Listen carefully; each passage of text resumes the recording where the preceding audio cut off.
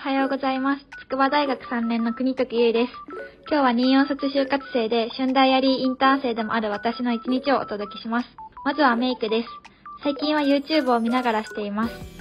荷物をまとめます。今日はインターンがあってパソコンが入るので少し重いです。就活の予定もまとめている紙の手帳は必須のアイテムです。荷物を詰めたら朝ごはんを食べます。一人暮らしなので夜ご飯は自炊をすることもありますが、朝はギリギリなのでグラノーラに牛乳をかけて簡単に済ませることが多いです。時間が来たので、これから春大アリーオフィスに出勤です。つくばにある自宅から、なんと片道丸2時間かかります。電車の時間を使ってこれを読んでいます。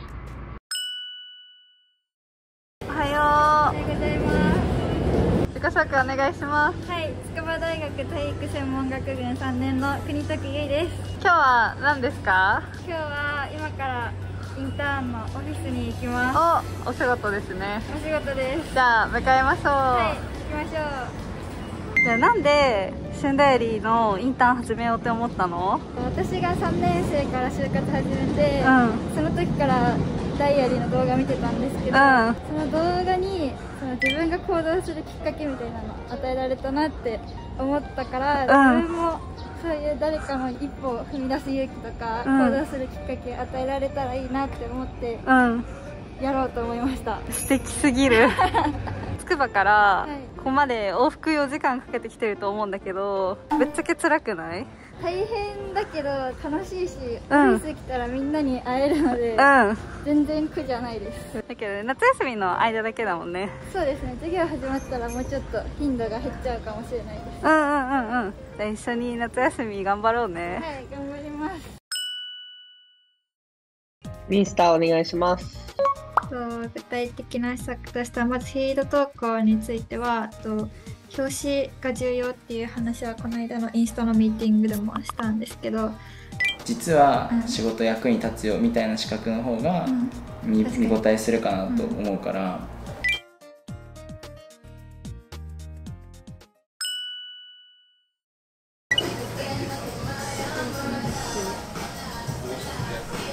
めっちゃ美味しそうですどうだった？インターンえ楽しかったです。なんかグループワーク結構あるからで営業とかだから大体その商品の棚割りとかを考えてみたいな結構そういうお題が多いから、違う企業だけどその回数を重ねていくあわかるごとに自分の知識も多くなっていくからより楽しいです。うん。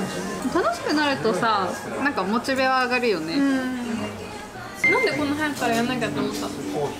自分に自信がないから。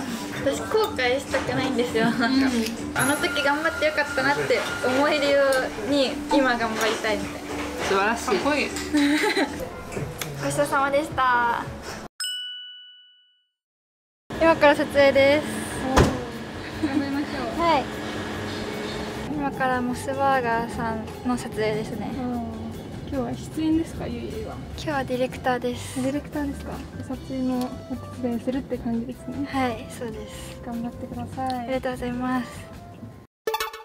高校時代に全国大会出て、で勉強で筑波大学に入った。何のスポーツだったんですか？陸上競技をしてました。私あの中学校高校って陸上ですよ。本当ですか？うん種目何されてたんですか？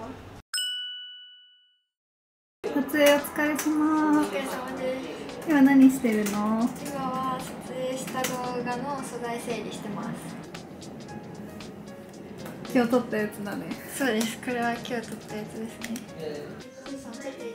はい。ここの部分使うかどうか迷ってるんですけどここはい。らない。ここは大丈夫さすがにゆい。ゆい。すごい。こだわってるんだねそうですね。なんか私がダイアリーでインターン始めたのがこの動画見て励まされたから自分もそういう動画作りたいなと思って頑張ってます。ナイス心意気キーさん今 ES 書いてるんですけど、アドバイスもらってもいいですか？もちろん。これどうしたらいいんですか？あだけどこれは地方出身でサークルにも入っていないので友達も先輩も少なくダイアリーの先輩を頼ったり抹茶を使って ES を仕上げています。今 ES はどんな感じなのサマー終わって ES は、書いたり話したりできるエピソードを一旦全部出そうと思って、え書き出してみました。ざっと。本当に話せること自分なんもないなと思って。ー、だからちゃんと一回振り返ろうって思って、うんそこからなんか無理やりどんどん出してってる感じです。まあなんかねい昔のくつかね。引き出し持っといた方がいいもんねこれからのご予定は？これからバイトに行ってきます。お何のバイト？今日は。今日は焼肉です。おいいね。お疲れ様です。ありがとうございます頑張ってね。はい。ありがとうね。またね。頑張っありてがとうございます。先輩のすずさんにおすすめしてもらった菓子パンを食べてバイト前にお腹を満たします。行ってきます。バイトから帰ってきました。今日は約5時間働いたので足がパンパンです。でも提出しないといけない ES があるので1時間だけ集中して頑張ります。今は秋冬インターンに向けたエントリーが増えてきています。学知化の部分は書くのに慣れてきましたが、志望動機の部分にどうしても時間がかかってしまいます。満足いくものが提出できたので今日は寝ます。これからも見ている24卒の皆さんと一緒に頑張れたらと思います。ご視聴いただきありがとうございました。おやすみなさい。